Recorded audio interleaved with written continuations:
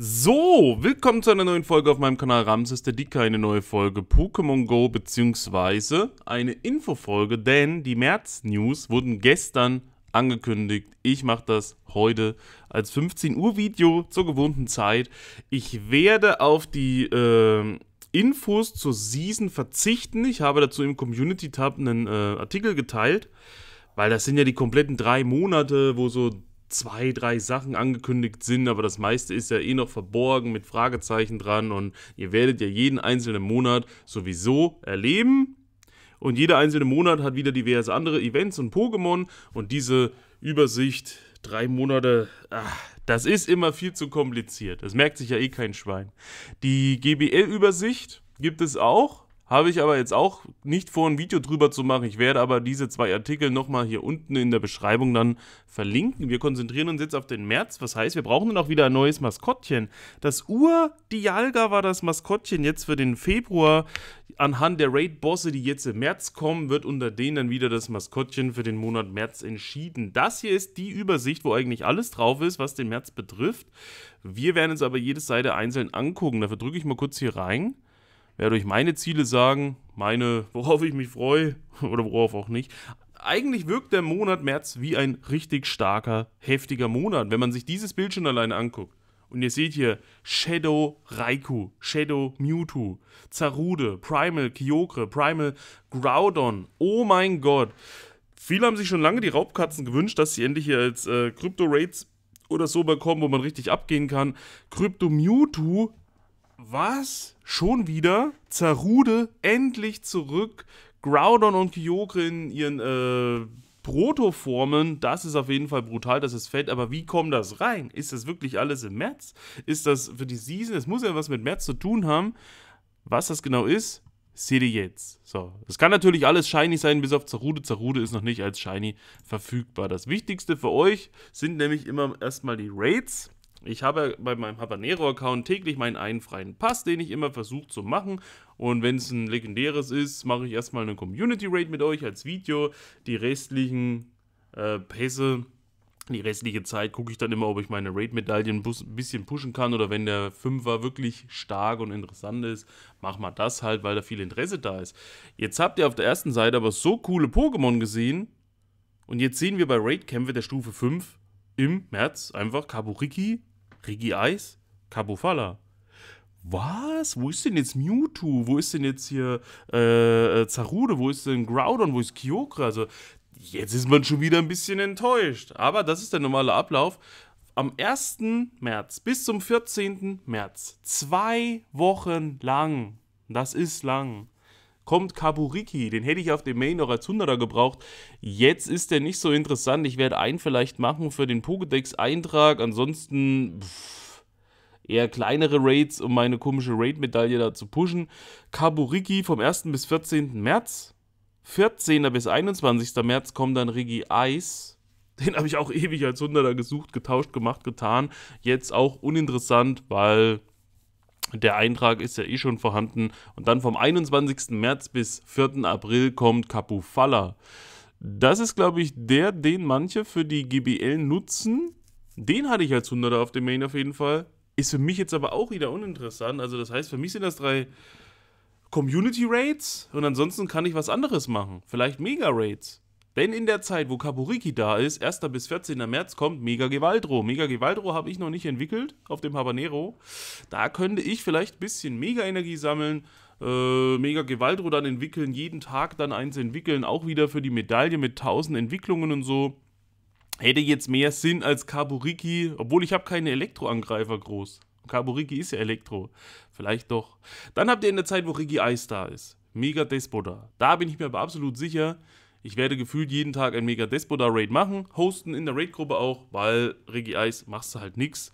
Mega Despoda auf jeden Fall sinnvoll, da mal ein bisschen was mitzunehmen, das schnell auch auf Stufe 3 zu bringen. Also Mega Despoda ist ein Highlight, da freue ich mich drauf, vom 14. bis 21. März, in der Zeit, wo Regi Eis da ist und in der Zeit, wo Capufalla da ist, kommt Mega Bisa Flor.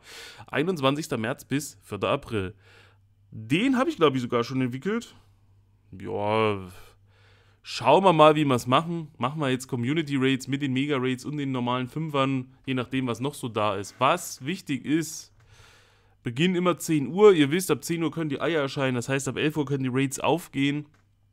Exklusive Attacken steht hier noch für Kaburiki, Kabufala, Natur, Zorn, Arena, Raidkämpfe 90 Schaden, Trainerkämpfe 80 Schaden, senken die Verteidigung des Gegners, also ist auch wieder GBL relevant, brauche ich jetzt aber nicht. So, was ist euer Highlight davon? Also eigentlich müsste es Mega Despoda sein. Ansonsten ist da nichts Neues dabei. Das Einzige, was Neues ist, dass sie jetzt andere Attacken haben, aber alles ist wieder mal recycelt. Rampenlichtstunden. Wie sieht's da aus? Es gibt nur, nee, es gibt drei Rampenlichtstunden. Was haben sie da denn schon wieder? Nee, drei, doch, vier. Hä? Was? Hier steht. Pamo, 5. März. Doppelte Entwicklungs-EP. Kann nicht shiny sein, ist auch nicht so nützlich. Nidoran, 12. März. Doppelter Fangstaub. Wer Staub braucht, okay. Nido Queen. Ja, machen manche in der GBL, glaube ich, ein bisschen was rum. 26. März, ihr seht, da fehlt ein Dienstag dazwischen. Hopspross, doppelte Fangbonbons. Ist jetzt auch nicht so die Wucht. 19. März, doppelte Fang-EP, aber gleich mit vier verschiedenen Pokémon. Wulpix, Quapsel, Schnäppke, Hippopotas. Also da habt ihr eine richtig gute Auswahl, viel Abwechslung drin. Wenn man natürlich ein bestimmtes jetzt von denen braucht, ist wieder doof, weil dann alles gleichzeitig rumsitzt. Ich fände am besten, also eigentlich als Pokémon finde ich Pamo irgendwie am coolsten, aber kann halt wie, wie gesagt noch nicht shiny sein. Der beste Bonus ist natürlich wieder bei Nidoran, das mit dem Staub. Ansonsten, ja, habe ich glaube ich schon ewig keine Rampenlichtstunde mehr gespielt. Großartig, weil mich das auch alles nicht vom Soggle haut. Schaut im Ingame-Shop vorbei, schnappt euch das neue Wunderticket. Wow. Es gibt ein Wunderticket, was die ganze Season überzählt, 10 Euro kostet und ihr dann halt ein paar Sachen wieder kriegt. Aber braucht kein Mensch. Ich sag's wie es ist, braucht kein Mensch. So. Crypto Raids. An den Wochenenden im März erscheint Crypto Raikou. Jetzt haben wir wenigstens ein Pokémon, was da vorne angezeigt wurde hier. Crypto Raikou, okay. Äh, die Raubkatzen habe ich, glaube ich, noch nicht. Ich müsste also gucken, dass ich mit dem Krypto Raikou auch einen Raid mache vor Ort und ein bisschen Unterstützung vielleicht kriege. Dann würde ich den auch einmal eintüten. Aber weil das eben nur vor Ort ist und du keinen einladen kannst, bin ich froh, wenn ich einen habe für den Pokédex-Eintrag. Der Rest bleibt halt wieder liegen. Ist ein cooles Pokémon. Hätte ich wahrscheinlich auf dem Main-Account als 100er gehandelt, jeden Tag Krypto-Raids am Wochenende gemacht, bis das 100er Krypto da ist, weil das einfach so ein fettes Teil ist. Ich das mag, das auch gelb ist, vom Design her, aber ist ja jetzt anders. Also einer wird gemacht und ansonsten ganz entspannt, ganz entspannt. Events, das ist noch wichtig, die vierte Seite, die letzte Seite. Da stehen jetzt viele Sachen dabei die eben mit dem Titelbild zu tun haben. Erstens am 3. März ist ein Forschungstag unter Strom. 14 bis 17 Uhr. Da kann ich noch ein extra Infovideo dazu machen. Aber das mache ich wahrscheinlich dann am Samstag, weil das Ding ist ja am Sonntag. Dann mache ich am Samstag das Video für den Sonntag, weil wir ja, oder auch nicht, weil vielleicht muss ich auch Krypto Reiko machen. Ach, ich guck mal, wann ich es mache. So. 3. März, Forschungstag unter Strom. Ist jetzt nicht so wild. 5. bis 11. März, Pokémon Horizonte, die Serie Event. Haben wir schon ein Infovideo dazu gemacht? Könnt ihr gucken. 14. bis 18. März die Wetterwoche. Vielleicht ist deswegen da dazu, dass diese Rampenlichtstunde mit ganz viel Zeug. 16. März Community Day im März. Mhm. 17. März Raid-Tag mit Prodo Kyokre. Das ist also ein Raid Tag. Raid-Tage sind ja eigentlich immer gut, dass du da drei Stunden lang die Möglichkeit hast zu raiden. Mittlerweile also dreimal eine Stunde. Gibt es da wieder freie Pässe? Fünf freie Pässe. Gibt es da wieder ein Raid-Ticket mit acht zusätzlichen Pässen? Beziehungsweise sechs plus acht.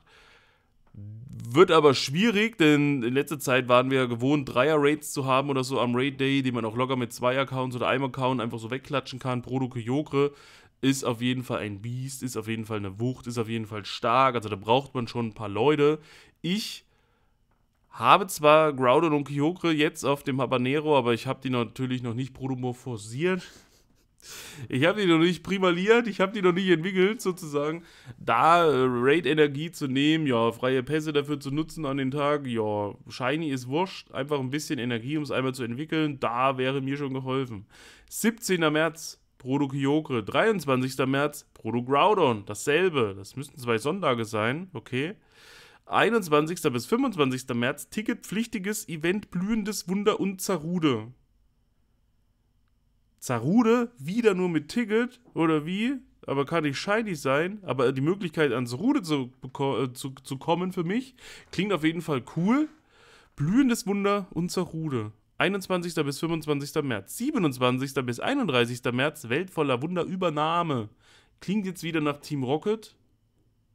Da wird wohl auch Crypto Mewtwo mit dabei sein, beziehungsweise steht unten nochmal 30. und 31. März. Crypto Mewtwo kehrt zurück. 6 bis 21 Uhr.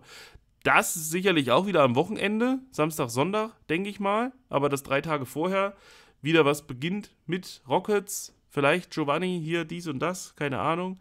Werden das Mewtwo-Raids sein. So wie an einem Ho-Oh-Wochenende, Crypto Mewtwo Raids an einem Wochenende müsste ich auch wieder einen Community Raid vielleicht dafür machen. Einladen kann man ja nicht. Raids für Zuschauer wären mega brutal, aber kannst du nicht einladen. Die daraus resultierenden Raidstunden sind dann Kaburiki am 6. März und 13. März, Rigi Eis am 20. März, Kabufalla am 27. März, immer 18 bis 19 Uhr. Hm. Das waren die März-News. Während man jetzt von den normalen Raids irgendwie enttäuscht ist, muss ich sagen, finde ich es mega krass, dass wir zwei Raid-Tage haben, denn Raid Day finde ich immer mega speziell und macht mega Spaß. Jetzt habe ich schon wieder Schiss, weil das halt so starke Pokémon sind und ich nicht weiß, ob wir genügend Leute dann da kriegen, die da mitmachen können. Und Krypto Mewtwo, das wird aber noch komplizierter, noch schwieriger, weil das ist ja vor Ort. Bei den Protos kann man wenigstens einladen. Das würde vielleicht noch funktionieren irgendwie. Crypto Mewtwo, hm. Na egal, ich lasse es mal auf mich zukommen. Wird auf jeden Fall der März sehr Raid-lastig auch werden. Aber da sind viele interessante Dinge dabei. Was ist euer Favorit? Was sagt ihr? Worauf habt ihr Bock? Wir gehen nochmal hierhin zurück. Also Zarude freue ich mich. Die zwei Protos.